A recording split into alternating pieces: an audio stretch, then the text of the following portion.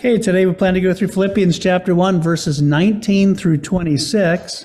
In today's passage, Paul reflects on life. Why are we alive? What's our purpose? What's the meaning of life?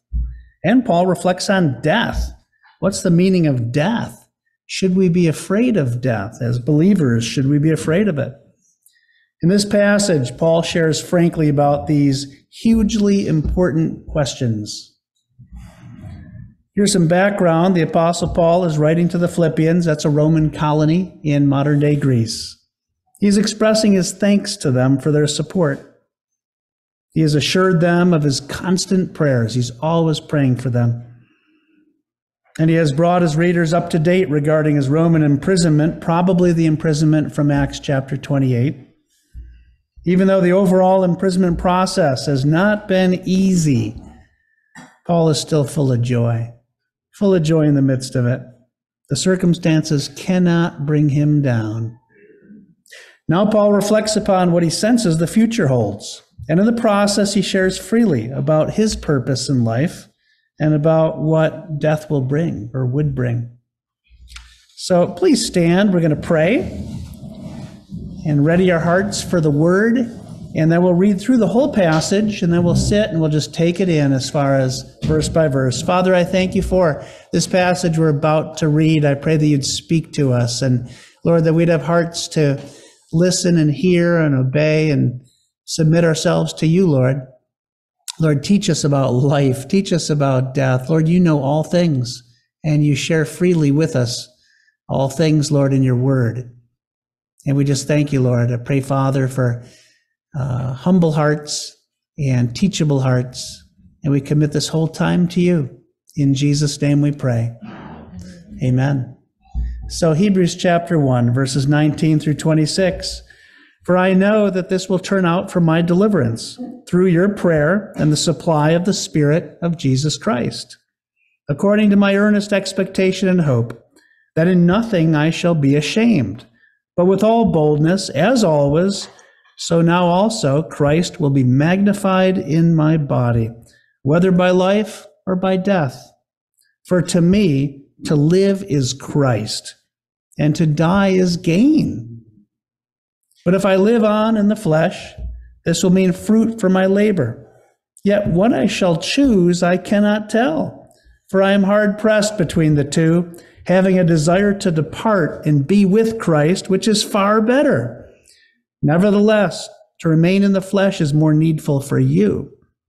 And being confident of this, I know that I shall remain and continue with you all for your progress and joy of faith, that your rejoicing for me may be more abundant in Jesus Christ by my coming to you again. Please be seated. There's a lot here. It's a very profound passage. The entire Bible's profound, but this has a an incredible focus of uh, profoundness.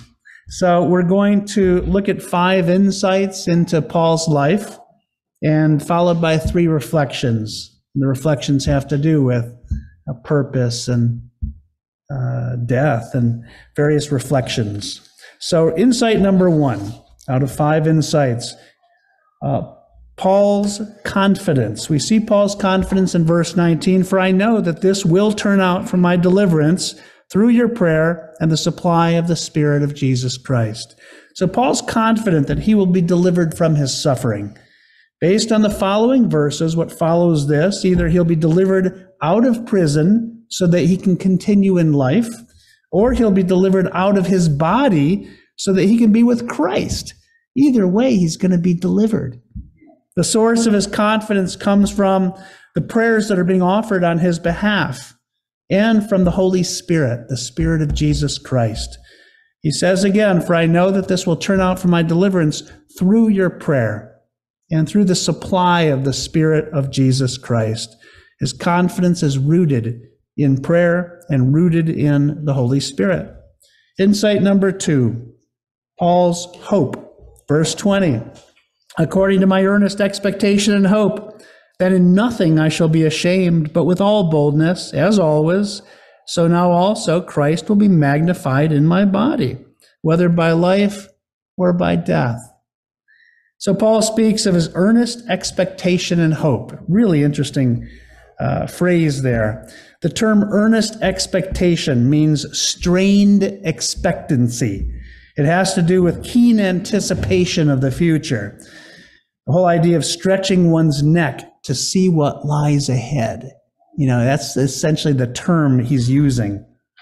Paul's hope is that Christ will be magnified while in his body whether he continues on this side of eternity or transitions to the other side. The word magnified means enlarged, made great, declared great, exalted. So, so now also Christ will be magnified in my body, here in verse 20. Either way, he does not expect to be ashamed by his conduct in life or by his appearing before Christ. Either way, Rather, he expects to move forward with all boldness, according to this verse. He will boldly magnify Christ in his life, and he will boldly appear before Christ in his death. Either way, he'll be unashamed and he'll be bold. It's clear that Paul has no fear of death, none at all. Insight number three Paul's purpose. Verse 21 For to me to live is Christ, and to die is gain. So, Paul's bottom line purpose is to live for Christ. To live for Christ. The whole idea of this, it boils down to Jesus Christ. Our life boils down to Christ. He gave us life spiritual life and we'll have physical life as far as on the other side we'll have wonderful new bodies. He gave us life and in a sense he lives through us. So in response we live for him completely. That's what we do. So for for me to for to me to live as Christ is what he's saying. To live as Christ. Paul is not living to get the most toys in life. He's not living to get the most friends in life. He's not living to get the most success in life and he's not living to get the most pleasure in life. Rather, he's living for Christ. That's what he is all in for. All in. He's living for Christ. And when he dies, he wins. For to me, to live is Christ, and to die is gain. He will see Christ face to face. Thus, to die is gain. He loses nothing of eternal value in the transition from this side of eternity to the other side of eternity. Rather, he gains. He loses nothing and he gains. Insight number four Paul's dilemma, verses 22 and 23. But if I live on in the flesh, this will mean fruit for my labor. Yet what I shall choose, I cannot tell, for I am hard pressed between the two, having a desire to depart and be with Christ, which is far better. So Paul's dilemma is this if I continue to live in my physical body, I will continue to bear fruit. To live is Christ. As long as I'm alive, I will magnify him. But if I die, I go to be with the Lord. To die is gain. It's gain. So departing and being with Christ is, he says, far better. Literally in the Greek, it says, very much more better. Very much more better. That's what he's saying. It's a whole lot better to depart and be with Christ. So Paul is torn. What I shall choose, I cannot tell. They're both great paths, wonderful paths. He declares that he's hard pressed between the two. John MacArthur says this he said, the Greek word for hard pressed pictures a narrow path, a rock wall on either side, allowing him to only go straight ahead. He's sort of hard pressed on both sides. It's really God's call as far as what's going to happen in his life. He knows it's not really his choice. So, insight number five Paul's conclusion. So, we look so far at Paul's confidence, his hope, his purpose, his dilemma, and now a final insight, Paul's conclusion, verses 24 to 26. Nevertheless, to remain in the flesh is more needful for you. And being confident of this, I know that I shall remain and continue with you all for your progress and joy of faith, that your rejoicing for me may be more abundant in Jesus Christ by my coming to you again. So Paul is stating that if he remains in his body, it will be better for the Philippians, for his readers. And then he declares with confidence that God is going to have him remain in the body. As the Holy Spirit showing him that that's the path that God is choosing for him. So God's going to have him remain in the body. Paul is going to continue to help his readers grow in their faith journey. And this path will bring his readers the most joy, more abundant rejoicing, according to this verse 26. And obviously, he believes that it will bring God the most glory. It'll magnify Christ the most, as far as that's the path that God will have for him. Here are some reflection points. Three reflection points that we're going to look at, and we'll spend most of our time here. Reflection point number one purpose. Paul's purpose is Christ. He lives to magnify Christ, to bring him glory. He lives to bear fruit. He desires to help the Philippians grow in their faith. He lives to make disciples. He lives to be used by God to bring God glory, to further the church, to further God's purposes, to be used by God, to be an instrument in the hands of God. Matthew 28, verses 18 and 19. Jesus gives us the Great Commission. All authority has been given to me in heaven and on earth. Go, therefore, and make disciples of all nations. We're all called to take part in that, to make disciples of all nations. To live as Christ, we live to magnify him, and we magnify him by making disciples of all nations. God wants to use us to further his kingdom, to share Christ with others who desperately need to hear. They need to hear what Jesus has done on the cross for them. It's not just here's Jesus and he'll do he'll give you a better life. He'll help you to be happier. That's not the main point. The main point is he paid for your sins. So you can know God personally and you can have everlasting life. He didn't die so our finances could be a little bit better, or maybe our job could go a little bit better, or our marriage could be a little bit better. He didn't die for that reason. All those things are true for a believer in Christ. He gives us grace to bring him glory in whatever sphere we're in. But he died ultimately to bring us into relationship with God the Father through God the Son. So that's purpose, our purpose, and his purpose and our purpose. There are many in Scripture who are living for things other than Christ, other than bearing fruit, other than the Great Commission, and their lives are rather tragic. Scripture gives us a number of examples. The rich young ruler is living for riches. Thus, he is saddened by Jesus. Remember Jesus, what he said? Hey, go, give everything to the poor, and then come follow me. And scripture says he went away sad. He didn't like that. He didn't like that at all. That was his security system. He went away sad. King Herod, he's living for power. Thus, he is threatened by Jesus. He hears of another king. Who's this king who was born? He tries to wipe out all the kids who are two and less. So his whole time frame involved. And so huge heartache as far as the slaughter of innocent babies, infants, because he was threatened. He didn't want his power to be threatened.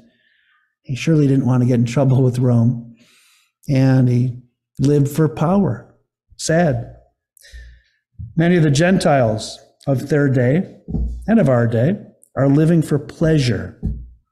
Thus, they are disinterested in Jesus. It's like, he's not going to help my party to go any better. He's not going to help us to have a more fun Friday night, Saturday night. And for me, it used to be a lot of nights. And it's like, he's not going to help me have more fun. He's not going to help me experience more pleasure. So it doesn't apply to my life. It's like, that's sad. That's really sad. May God wake people up. And I'm so fortunate he woke me up that a life of partying is no fun in the long run.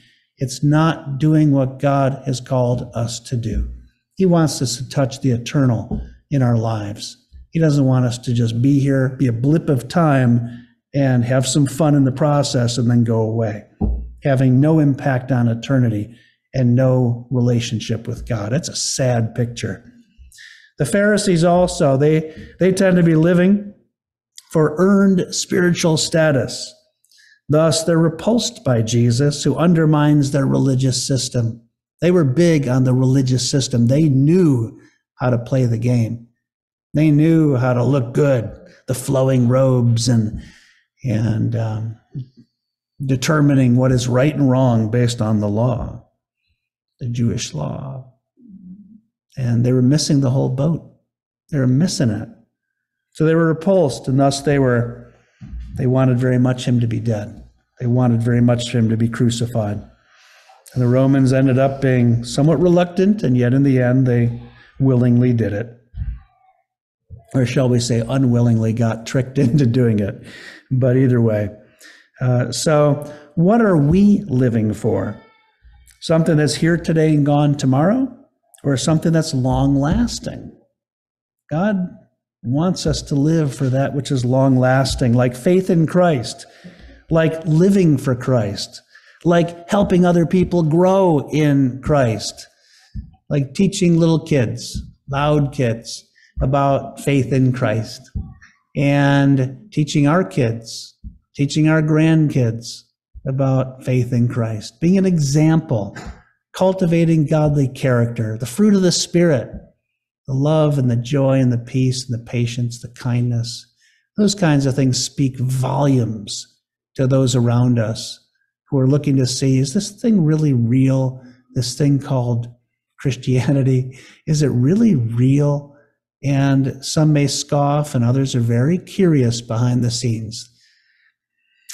So that's purpose. Uh, reflection number one is purpose. Reflection number two, power. Reflection number two, power. Paul does not draw his power from willpower or from talent or from charisma or from self help. I'd be real surprised if he would have gone to your average how to get ahead kind of class and would have been reading those kinds of books. This is what you have to do to dress for success. To be the best apostle you can be, you need to wear this, you need to do that, you need to have a charisma, you need to make sure when you speak you use the right technique.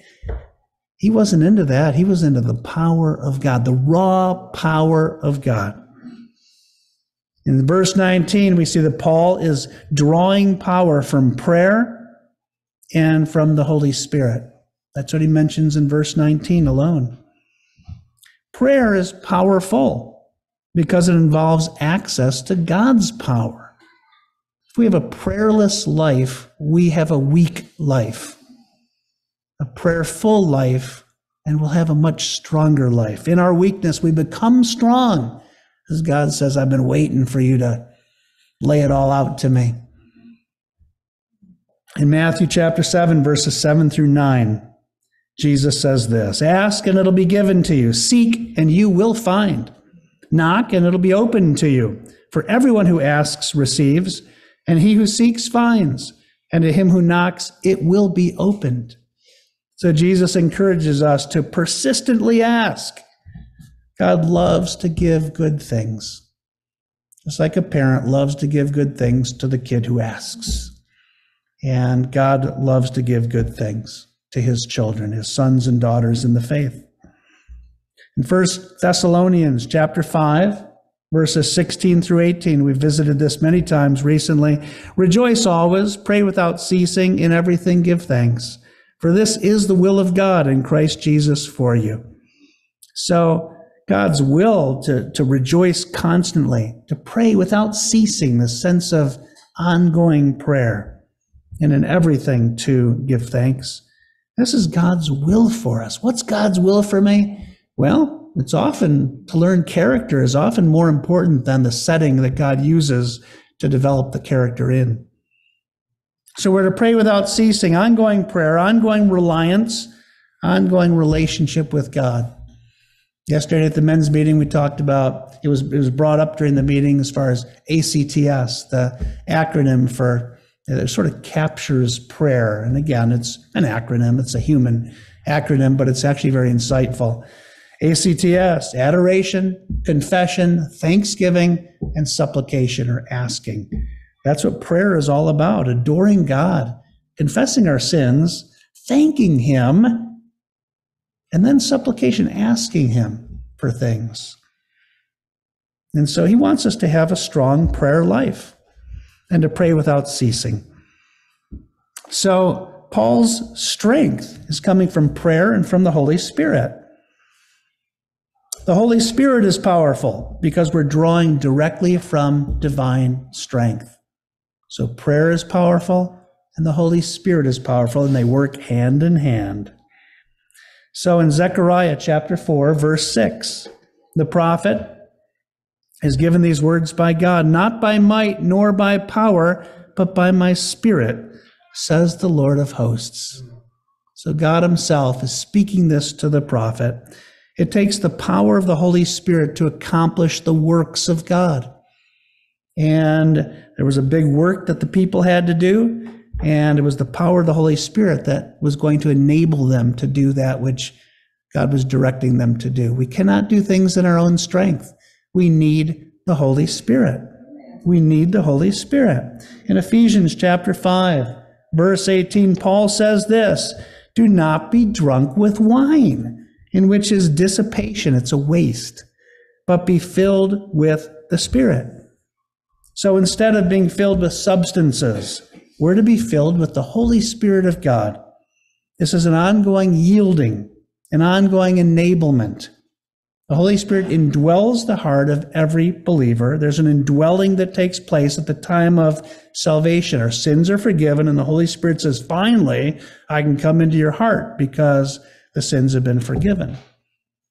And yet, then we're, we're encouraged to yield ourselves and to be filled with the Holy Spirit. And it's an ongoing kind of thing. It's not even just a one time shot, as awesome as it is to have a baptism or a, a wonderful uh, immersion of the Holy Spirit in our lives. Don't stop there. it's an ongoing thing. Be filled and constantly filled with the Holy Spirit. And we need that. Without prayer and without the power of the Holy Spirit, we can so easily get burned out, can't we? You ever experience that? Where you just feel like, oh man, I'm putting all sorts of effort in, and I feel like I'm burning out a little bit because we lack the right power source. We need the right power source in order to continue on. The ever ready aspect of our life. We need prayer. We need the Holy Spirit. Two essentials. Remember Mary and Martha, the two sisters from Bethany. Mary was sitting at Jesus' feet, listening to him and drawing from him. While Martha was busy, but not drawing upon Christ. It's not a sin to be busy, but she was not drawing upon Christ for strength. Thus, she had a bad attitude, a complaining attitude, a comparing attitude. Jesus, tell my sister to help out. and Jesus said, She's chosen the better path. And so let's be like Mary, just empowered by the Lord, not like Martha, who's busy and busy, but sort of disconnected from Christ at that time. If he's right there, we really need to be sitting at his feet. And in our lives, He's always with us. He'll never leave us nor forsake us. So, in some ways, let's go around life sitting at the feet of Christ. We're called to remain connected to Christ, to abide in Him, to dwell in Him. And in that relationship is peace and strength and joy. The power we need to live this life. It's an impossible life to live the Christian life. That's why we need the Lord to do it through us who can develop self control without the Holy Spirit helping us? Who can develop patience without the Holy Spirit enabling us? Who can really share the word of life that changes hearts? Who can do the changing of hearts? We can't do it ourselves. It's the Holy Spirit who does it in the lives of those around us. So, reflection number two was power. Reflection number three is death. Paul is not afraid of death. This is a huge theme in this passage. In verse 21, to live is Christ, and to die is gain. There's no fear and there's no anxiety. Isn't that something? That alone is enough to attract people around us. It's like, tell me about this hope that you have. And they're trying to figure out are you crazy? Or are you, is this something that is real? So, people who have genuine faith in Christ have nothing to be afraid of. In fact, they can actually look forward to death. In some ways, looking forward to it. The pain is gone, the disease is gone, and the suffering is gone. They'll be given a new body with no inner desire to resist God, no flesh and flesh being that sinful nature, that part of us that still wars against God. Even for a Christian, there's still a battle between flesh and spirit, the old man and the new man. And they'll be in perfect fellowship with Christ, absolutely perfect fellowship on the other side of eternity. Without genuine faith, a person often fears death and should fear death. They really should, because the prospect of paying for one's own sins is horrifying. To think about that is horrifying. Where a person without genuine faith may ignore death altogether, may act like it's not a reality. It has no bearing on my life. I'm going to ignore it. Or a person without genuine faith may become preoccupied with death, either living on the edge, always defying death. That's somehow excitement. We were talking about motorcycles yesterday. It's an interesting aspect of motorcycles that are like, whoa, especially those who go fast and weave in and out. It's like, what are you doing weaving in and out of a highway? So some are living on the edge, almost defying death, or living in the occult, being fascinated by death, somehow very interested in it. It's like, that's not the right way to go. It doesn't satisfy, it doesn't meet the need that we have. Genuine believers throughout Scripture face death with boldness. Jacob had no fear of death as he blessed his sons in Genesis chapter 49. Remember, he blessed each one. And right before that, he was blessing Joseph's sons and he switches his arms. He does the switcheroo thing. This whole sovereignty of God is throughout Genesis and throughout the Bible. But it's like, I'm sovereignly choosing the younger to be the greater. It's like, isn't that something? So, Jacob, no fear of death. The prophets had no fear of death as they were persecuted for telling the truth. And some were sawn in two, and some were killed in other ways, or they were placed into a cistern like Jeremiah and a miry pit, and just the suffering that they dealt with. Stephen in the New Testament had no fear of death as he was being stoned for his faith in Christ. He had no fear of death. He said, I see Jesus right there, and he's standing, like almost applauding Stephen's faith. And so he wasn't scared. In fact, he was so full of peace at that time. It must have befuddled those who were there. Apparently, the Apostle Paul was there, who became the Apostle Paul, Saul of Tarsus was there obviously impacted by it. The apostles had no fear of death as they boldly proclaimed Christ. They weren't intimidated by the Romans or by the Jewish leaders. They were not intimidated at all. And here in this passage, Paul has no fear of death as he looks it in the eye with anticipation. To die is gain. It's gain. I lose nothing. So death. Paul says this in 1 Corinthians chapter 15 verse 55. Very interesting what he has to say. Oh death, where is your sting? O Hades, where is your victory? So death will have lost its sting, like a hornet without a stinger. In fact, it already has lost its sting, basically. When I was in Atlanta, I got swarmed by burrowing yellow jackets. Remember that, hon? Oh, yeah, she remembers. There were at least 23 stings, and they were under my shirt. It was like, oh, yeah. I was pondering some landscaping improvements, and they were burrowing, and they were actually in the in the dirt. And all of a sudden, it's like, ow, ow, ow, ow. And I got up and I started running, and they were all just like laughing at me because they were under my shirt. So they can run as fast as you want, but we have no problem just stinging you. And so it was just nasty. Plus, I couldn't run as fast as they could fly. And I remember there was one evil, very evil yellow jacket, and it, it circled me. And it was one of those weird situations where it circled me and then it went right for me. And it was almost like slow motion. Hmm, it got me right in the lip. And it's like, you nasty little yellow jacket. and my whole face swelled up. And we went to Northside Hospital. And I was said to be like a gargoyle, you know, gargoyle kind of look. It was like, whoa, you know, some of those interesting art kinds of pictures. That was me. And so, so my face swelled up. They sent me to the hospital. It was nasty. Just think if these yellow jackets had had no stingers, then there'd be no danger. I could laugh at them. You can do all you want. You're going to dive bomb me and you're just going to bounce off. And it's like, no problem, oh yellow jacket. No problem. Well, death has lost its stinger. That's what Christ did. He basically made that possible for the stinger to be lost. Verses 56 and 57.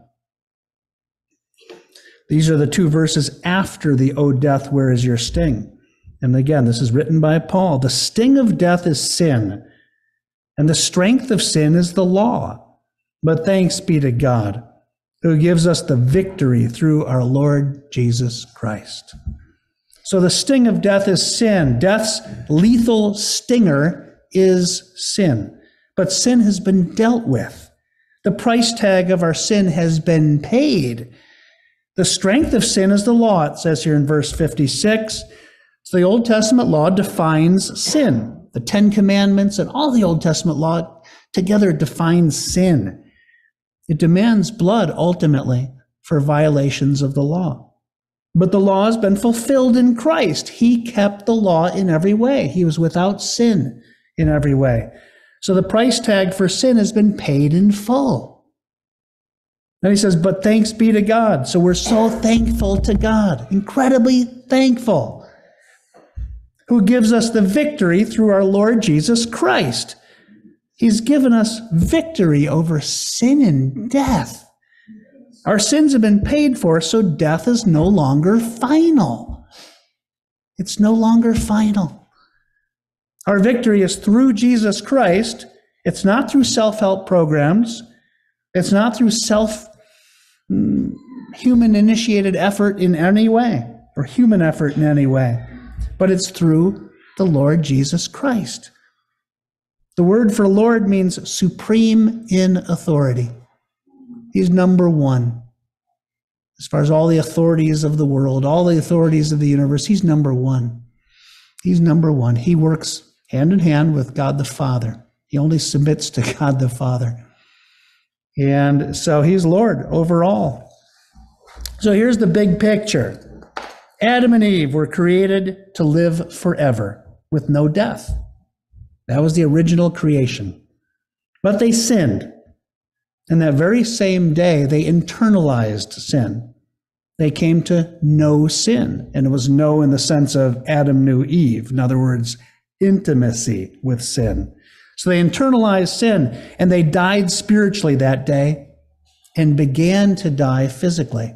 Decay entered in, the death process began. What Jesus, the second Adam, did was to flip the script. It's exactly what he did. He took humanity's sin upon himself. Since he had no sin, he could pay for our sin, your sin, my sin, each one of us. He paid for our sin. So when a person believes in Christ, that very same day, he or she comes alive spiritually. Just like they died spiritually that day they sinned, we come alive spiritually. The day we receive Christ, we're alive spiritually. And then we look forward to a new physical body as well. Just as Adam and Eve, they, they died spiritually that day and they began to die as far as the death process. Death was going to be part of their experience, the decay was going to be part of their experience. For us, we come alive in Christ when we come to faith in Him and we look forward to that new body as well. It is going to be a physical thing as well as spiritual. So we look forward to that. At the point of death or the return of Christ, whichever comes first, we get new bodies. New bodies with no cancer, new bodies that laugh at COVID, new bodies that never have ailments, no illness, no leukemia, no anything. We are, we become, we, we get, we, we receive perfect bodies, perfect bodies, and they will never die. People pay money to extend their lives. We've got the promise of eternity with no problems as far as physically. For the believer in Jesus Christ, death has lost its sting. It hasn't been fully rolled out yet. We still die physically, but we will be given new bodies on the other side. So death has lost its sting. One final thing is here are some of the highlights regarding the eternal state for believers, what we have to look forward to as far as the last two chapters of Scripture Revelation 21 and 22, and what our eternal state will look like for believers. No more tears, no more crying, no more death, no more sorrow, no more pain. All things will be new. The streets will be pure gold, and that's something. Here we have problems as far as potholes, no potholes. So the streets will be pure gold. There will be no temple because God Almighty and the Lamb, Jesus, will be its temple. They'll be the temple. There's no sun or moon because the glory of God and the Lamb are its light. Isn't that something? No solar eclipses. No weird prophecies regarding, supposed prophecies regarding solar eclipses. From the throne of God and of the Lamb will be a pure river of the water of life. On either side of the river will be the tree of life, a tree that we haven't seen since the fall of humanity, since the garden. It's back. The leaves of the tree are for the healing of the nations. There shall be no more curse. God's servants shall serve him. Well, the privilege of serving the Lord directly. God's servants shall see his face. We'll see the Lord as far as face to face. His name shall be on their foreheads, our foreheads. With no sun, the Lord God will provide the light. God's servants in service to God and to the Lamb will reign forever and ever. So we're serving Him and somehow reigning with Him forever and ever. That's all in Revelation 21 and 22. With an eternal future like this, how can we not cry out with the same cry that we see in Revelation 22 that says, Come, Lord Jesus. Come. And death, you've lost your sting. To die is gain. It's gain. John is not afraid of death.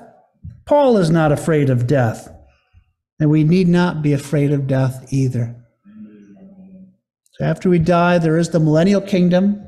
And time permitting, I'd love to also mention some of that But that's what comes next. And then comes the eternal state, but we flash forward to the eternal state, the beginning of Scripture, the end of Scripture. But we'll talk the, about the millennial kingdom in the future. And wouldn't that be fun? As far as Jesus coming back, this is an election year. No scandals, no nasty stuff. Wouldn't that be wonderful? Wouldn't that be great? so, personal application. Questions we ask as we ponder this passage. What are you and I living for? Is it temporary or long lasting?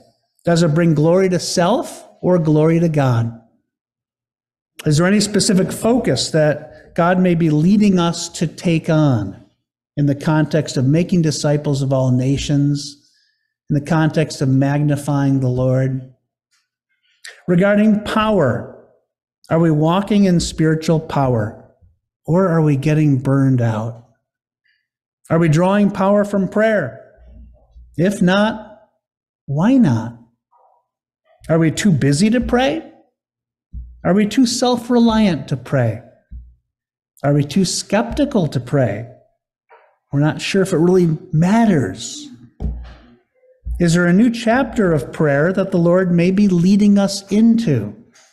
A brand new chapter. If so, let's enjoy the journey.